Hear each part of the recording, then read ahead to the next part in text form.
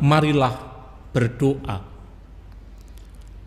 Allah Bapa sumber kedamaian sejati, Engkau memberkati dan menyinari kami dengan sabdamu. Semoga kami mampu membangun kedamaian sejati di tengah masyarakat kami. Dengan pengantaraan Yesus Kristus Putramu Tuhan kami, yang bersama dengan dikau dalam persatuan roh kudus, hidup dan berkuasa Allah sepanjang segala masa. Amin. Amin. Mari kita sambut sabda Tuhan. Aku akan memulihkan kembali umatku, dan aku akan menanam mereka di tanah mereka. Pembacaan dari Nubuat Amos. Tuhan bersabda, "Pada hari itu aku akan mendirikan kembali pondok daun yang telah roboh. Aku akan menutup pecahan dindingnya dan akan mendirikan kembali reruntuhannya." Aku akan membangunnya kembali seperti pada zaman dahulu kala, supaya mereka menguasai sisa-sisa bangsa Edom dan segala bangsa yang kusebut milikku. Demikianlah sabda Tuhan yang melakukan hal ini. Sungguh, waktunya akan datang, demikianlah sabda Tuhan, bahwa pembaca dan penuai akan susul menyusul, Demikian juga pengirik buah anggur dan penabur benih.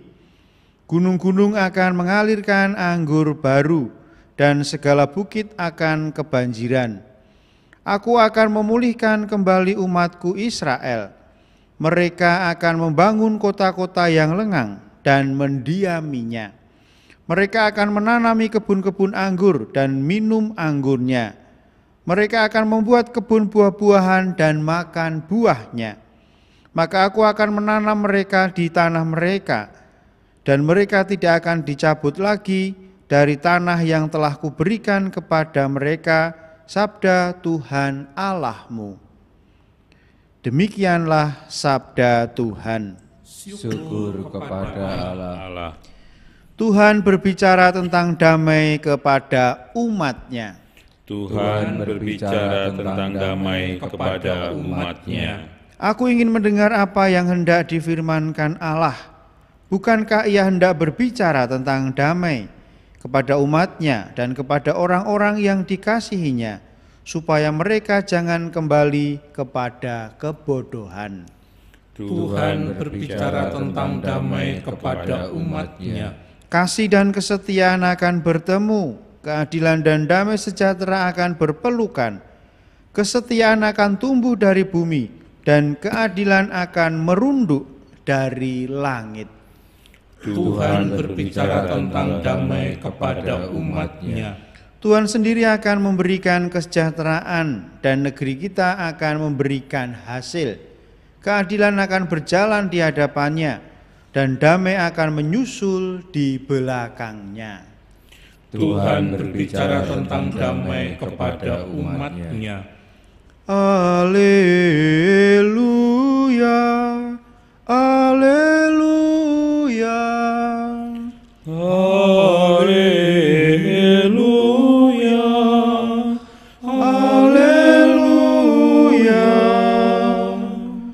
Domba-dombaku mendengar suaraku sabda Tuhan. Aku mengenal mereka dan mereka mengikuti aku. Haleluya. Haleluya. Tuhan bersamamu rohmu. Inilah Injil Yesus Kristus menurut Matius. Dimuliakanlah Tuhan. Sekali peristiwa datanglah murid-murid Yohanes kepada Yesus dan berkata, kami dan orang-orang Farisi berpuasa, tetapi mengapa murid-muridmu tidak?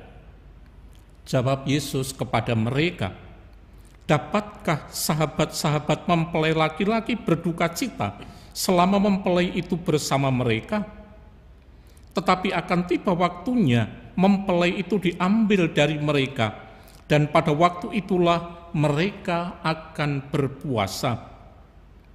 Tak seorang pun menambalkan secarik kain yang belum susut pada baju yang tua, karena jika demikian, kain penambal itu akan mencabik baju itu, lalu makin besarlah koyaknya.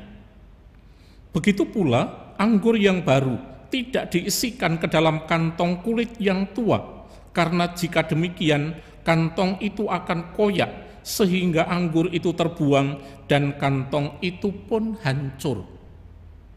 Tetapi anggur yang baru disimpan orang dalam kantong yang baru dan dengan demikian terpeliharalah kedua-duanya. Demikianlah Injil Tuhan. Terpujilah Kristus.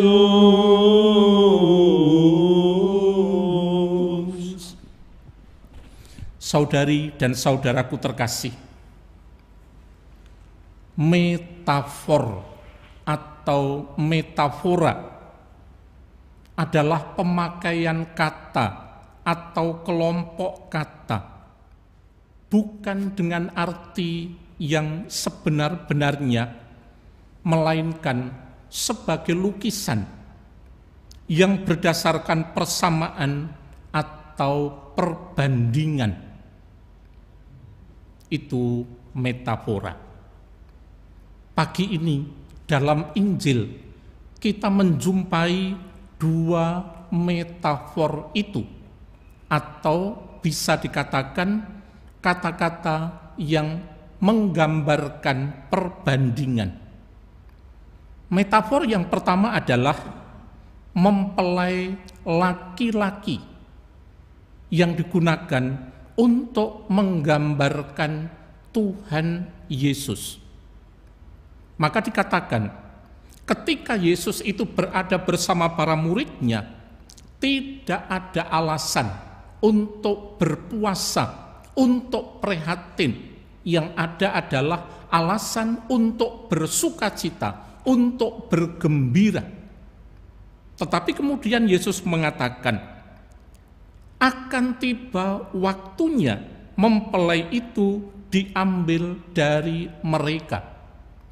Ini adalah gambaran tentang saat di mana Yesus wafat. Nah, ketika Yesus wafat itulah para murid barulah kemudian mestinya bersedih, prihatin. Tetapi selama bersama Yesus jangan bersedih. Mari bersuka cita. Itu metafor pertama.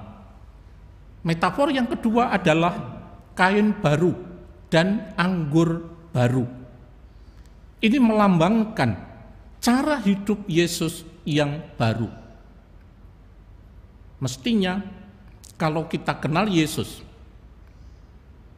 kalau kita mencintai Yesus, maka hidup kita pun mesti diperbaharui. Inilah pesan yang kita terima dalam bacaan Injil pada pagi hari ini.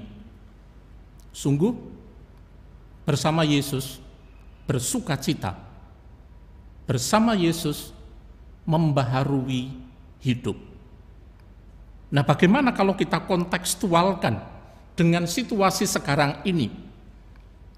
Lebih-lebih ketika kita akan masuk kepada era kenormalan baru atau era di mana kita diajak untuk masuk dalam new normal. Apa yang bisa kita buat? Pandemi ini tidak memungkinkan lagi bagi kita untuk hidup normal seperti ketika belum ada pandemi. Tetapi kita diajak untuk berani memperbaharui cara pikir, cara pandang, cara kita bertindak, atau cara kita berperilaku. Singkatnya, kita diajak untuk memperbaharui mindset kita. Nah, termasuk juga bagaimana kita mesti berekaristi dalam masa new normal ini yang nanti akan kita mulai bersama pada tanggal 18-19 Juli ini. Tentu saja ada beberapa daerah yang memutuskan untuk belum membukanya. Saya mendengar bahwa di Jepara, di Kudus itu belum akan membuka, mengingat bahwa proses penularan di sana untuk COVID-19 masih sangat tinggi. Saya juga mendengar Kabupaten Kendal, berarti di sana ada paroki Kendal, masih mempertimbangkan apakah juga akan memulai pada tanggal itu.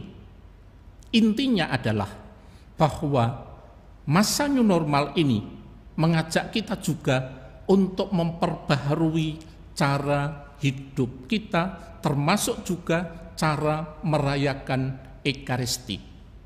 Repot? Saya rasa tidak. Asal ada semangat, asal ada kesetiaan, asal ada ketaatan kepada hukum, kepada aturan, kepada tata hidup bersama, maka tidak akan merepotkan kita, tetapi bersama Yesus tetap akan ada sukacita. Mari kita siapkan untuk semuanya itu sekali lagi dengan sukacita. Cara hidup baru dalam Yesus. Kemuliaan kepada Bapa dan Putra dan Roh Kudus Seperti seperti pada permulaan sekarang selalu dan sepanjang segala abad. amin